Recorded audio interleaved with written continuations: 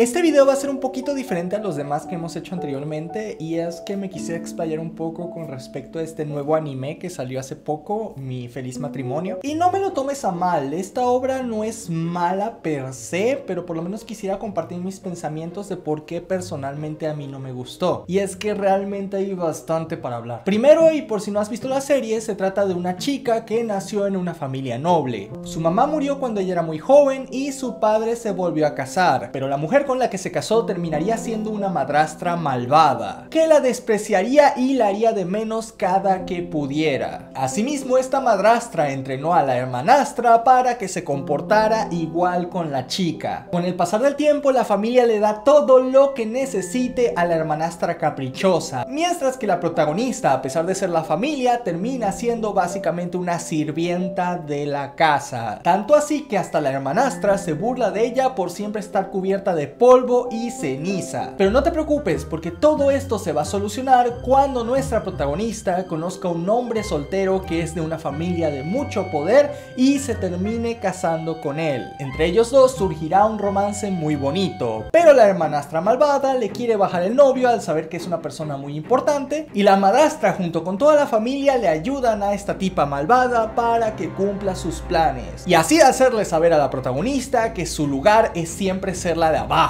la servidumbre, y que básicamente ella nunca va a tener ningún derecho de ser feliz en su vida. Ahora, ¿Has escuchado esta historia antes? Pues probablemente sí, porque básicamente es la trama de la Cenicienta. Así que sí, esto parecía ser la versión japonesa de la Cenicienta, pero al final resulta que no, porque todo el mundo tiene superpoderes y hay batallas contra demonios y un montón de cosas extra. Ahorita vamos a eso, te lo voy a explicar mejor, pero antes déjame te hablo de cuáles son las cosas buenas de este anime. En primer lugar, indiscutiblemente la animación es muy bonita, muy detallada, la verdad se siente mucho mejor que la mayoría de los animes actuales y la verdad es que en este apartado no tengo ninguna queja, es más, el opening es genial. Y hablando sobre estos temas, también la música está de 10. Y por lo que estuve leyendo, todas las piezas musicales fueron hechas exclusivamente para esta serie. Y la verdad es que ayudan bastante bien a ambientar este Japón que está entre los años 30, 40 o así. Y si te lo crees, tanto por la música como por los escenarios que usan. Así que en esto realmente no hay ningún problema y se llevan un 10. Pero ahora sí sigamos con la trama. Resulta que todas las familias importantes en este mundo tienen poderes sobrenaturales, disparar fuego, rayos, la y muchas otras cosas. Y la razón por la cual la familia detestaba a nuestra protagonista es porque ella no tenía poderes. El argumento más original del planeta. La madrastra la odiaba porque era la hija de su esposo con otra mujer. Y por su parte, esta misma entrenó a la hermanastra para que la superara en todo a todo momento, para que si algún día la iban a casar con alguien importante, fuera era ella la elegida en vez de su hermana. El padre decía que las quería las dos por igual, pero la verdad es que al enterarse que una de sus hijas no tenía poderes, se deshizo de ella por completo como si no existiera. Y es precisamente por esto, cuando la prota cumple la mayoría de edad, que la mandan a casarse con un noble que era bien huraño, y es que era muy conocido por rechazar a todas las pretendientes que éste tenía. Y esto lo hicieron con la esperanza de que también la echaran a ella, y como la familia ya había renunciado a protegerla, esto la dejaría por completo en la calle y con suerte pues que estuviera desvivida. Pero obviamente al llegar a la casa de su nuevo esposo resulta que sí era un tipo huraño y medio mala onda, pero tenía un corazón muy noble y ella poco a poco a través de actos pequeños pero amables va ablandando poquito a poquito su corazón hasta que éste la acepta en su vida y la defiende con todo y en contra de todos. Así que la defiende, es medio violento, medio posesivo, pero también es un caballero, un hombre de honor y todo estas cosas. Y además resulta ser un militar de muy alto rango que tiene de los poderes más rotos de toda la serie. Literalmente nadie puede en contra de él. Y la vida de los dos se hace pacífica, de conquistarse el uno al otro, o eso es lo que yo quería creer, porque solo duró como un capítulo. Y después de esto nos enteramos que en realidad la protagonista sí tenía poderes y que de hecho su madre era descendiente de la familia más poderosa de poderes psíquicos que existe y la prota estaba bien pero bien rotísima, pero no había tenido sus poderes antes porque resulta que sus poderes funcionan de una manera diferente a la de todos los demás porque están súper OP. También la familia por parte de su madre que estaba desaparecida durante un montón de años vuelve a aparecer porque quieren adoptarla también para casarla con otra gente, literalmente para usarla como un valor mercantil. Y se desata toda una guerra por obtener a esta chica, a la cual su prometido la va a defender pase lo que pase. ¿Cómo te lo explico? ¿Te has visto Crepúsculo? ¿Te has visto Divergente? Eso de que la chica resulta ser una chica normal, despreciada por todos porque no tiene nada especial o que no destaca en nada. Luego conoce a este chico que es duro al principio, lo va enamorando, pero al final resulta ser que la tipa era la más especial de todos porque tenía el poder super hiper secreto que nadie más podía contra ella y ahora todo el mundo se está peleando entre todos para obtenerla, en lo que su macho machote tiene que defenderla. Parece una novela de Wattpad una niña de 15 años.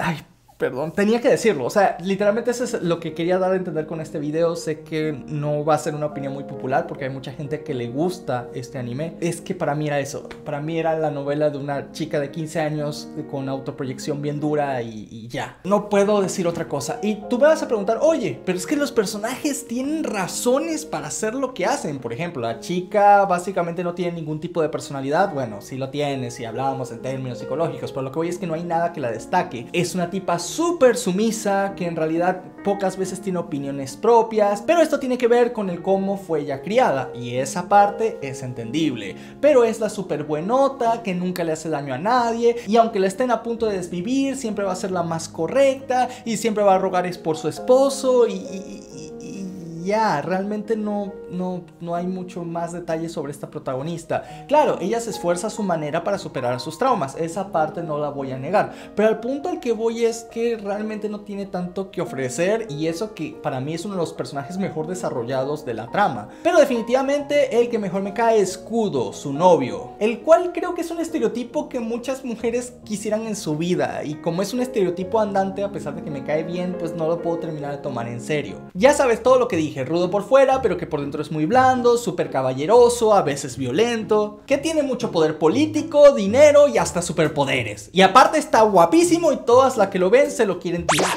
Entonces, ¿por qué si es un estereotipo andante me cae tan bien? Bueno, es porque hay algunas partes de él que sí escribieron bien, como por ejemplo, cómo él trata a su esposa que tiene todos estos traumas bien feos desde la niñez y cómo él trata de lidiar con ellos pues poco a poco, reuniéndola con gente con la cual ella fue feliz, comprándole uno que otro detallito, tratando poco a poco de que se haga más extrovertida y de hecho creo que estas son las mejores partes de toda, toda la serie. De hecho es lo único que me hizo que valiera la pena verla en algún sentido. Ah, y como en toda novela de Wattpad también tiene que haber un triángulo amoroso y es que la prota tiene un amigo de la infancia que la quiere muchísimo, que de hecho es un pan de Dios, un amor de persona y como siempre este tipo de chicos son rechazados. Bueno, no es que lo haya rechazado, es que lo casaron con la hermana. Pero el punto es que la trama hace todo lo posible para que no se quede con ella. A pesar de que fuera la única persona que la valoró en muchísimos años. Y ahora sí vamos a hablar un poquito de toda la demás gente que está en esta serie. Porque si alguien aquí no es directamente familiar o amigo del marido, que digamos que es como el bando de los buenos, pues todos los demás de aquí en fuera son los malos de la historia. Y son malos, malos, malos. ¿Por qué? Porque qué importa, no hay que darles trasfondo. Solo son malos, envidiosos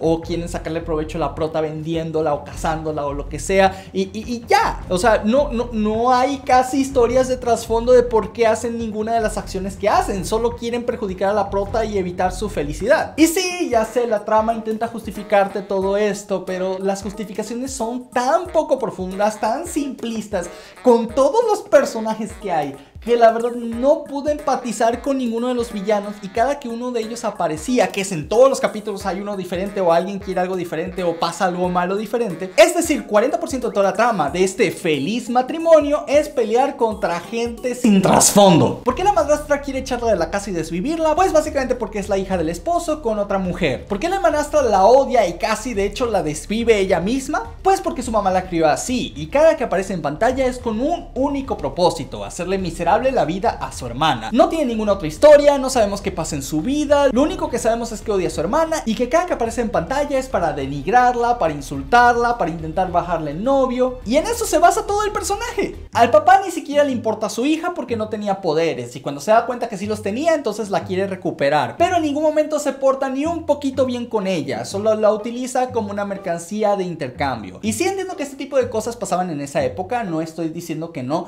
pero mi problema aquí es que no se le construye ninguna historia a los demás personajes, el por qué hacen cualquiera de sus acciones. Es como este tipo es malo, quiere casar a su hija con alguien de poder y se acabó, punto final. La otra simplemente la odia, la maestra es, la madrastra simplemente es mala, ¿me entiendes a dónde voy? Y estos no son los únicos casos. Resulta ser que el papá del amigo de la infancia también quiere casar a esa tipa y se la compra a la familia original y también lo que él quiere es el poder de la tipa, ¿no? Luego aparece la familia de la madre que nunca se preocupó por ella y cuando el esposo les dice, oye, ¿por qué nunca se preocuparon por ella cuando la estaban abusando, maltratando, casi me la desviven? Y la familia de la madre dijo, ah, pues porque no sabíamos que ella sí iba a heredar ese superpoder, porque pues de haberlo sabido la hubiéramos agarrado antes. Pero como pensábamos que no tenía poderes, pues por eso no nos importaba. ¿Por qué la quieren? Pues para casarla con alguna familia de poder y ellos también incrementar su poder e influencia. Y, y, y ya. Una cosa que olvidé mencionar es que los personajes secundarios pareciera que no tuvieran una vida. Sabes que se dedican a ciertas profesiones o hacen ciertas cosas, pero jamás ves qué es lo que hacen. Todas las apariciones que tienen en pantalla siempre tienen que ver con los protagonistas. Es como que si sus vidas en esta obra giraran únicamente en torno a eso. Que si tú me lo preguntas personalmente, esto es una señal de escritura un poco pobre. Y es de nuevo otra de las razones por la cual soy incapaz de percibirlos como seres humanos interactuando y los veo más muchas veces como impedimentos andantes o ayudas andantes de los protagonistas. Pero en ningún momento soy capaz de percibirlos como seres con su propia individualidad. Y de nuevo, a pesar de que esta historia se llama Mi feliz matrimonio, en realidad los tipos ni se llegan a casar en más de 10 capítulos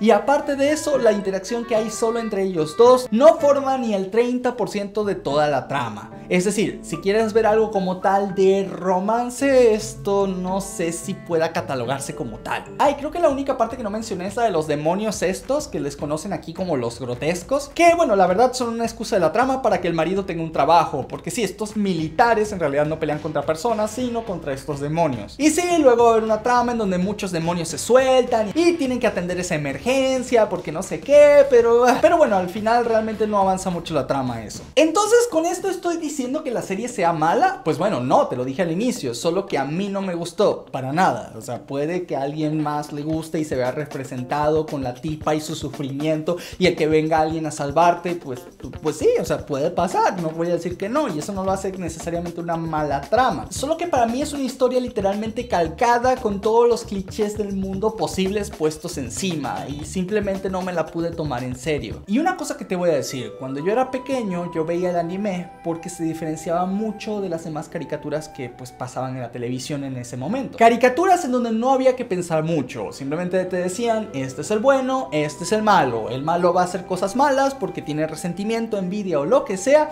y el bueno es bueno y va a hacer cosas buenas pues porque es bueno. Y esto daba lugar a un montón de personajes acartonados con los cuales era casi imposible tener algún tipo de empatía al ni siquiera sentirlos como seres vivientes. Pero cuando empecé a ver anime, incluso los que eran para niños, como no sé, Pokémon, donde teníamos a villanos como el equipo Rocket. Incluso con ellos ves cómo ellos se toman su propia maldad como una broma, tienen trasfondos de por qué hacen las cosas y en algunos casos incluso llegan a ayudar a los protagonistas si esto juega para su propio bien o incluso por cariño debido al tiempo que han pasado con ellos. Y esto que era una serie para niños que no estaba hecha para que le pensaras mucho. Pero cuando hablamos de la otra inmensa mayoría de animes, ya estamos casi acostumbrados a ver a los personajes como que si fueran personas reales, que hacen cosas buenas, que se equivocan, que pueden llegar a hacer cosas malas si la situación lo ameritan y que a veces incluso tienen dudas en el camino en el cual van a seguir. Y así como es con los protagonistas, también llega a ser con los villanos. Y por supuesto que hay un montón incluso de villanos malosos que solo son malos por ser malos y ya, pero definitivamente lo que más me atrajo del anime en su momento fue la humanidad que había en cada uno de los personajes, sin importar si fueran héroes o villanos. Y es que de hecho en la mayoría de las obras hay una cantidad muy grande de villanos o antagonistas bastante pero bastante buenos. Y si tuviera que resumir, esta obra no tiene ninguna de esas cosas que tanto me atrae de ver anime. Se siente muchísimo más como una novela latinoamericana con superpoderes.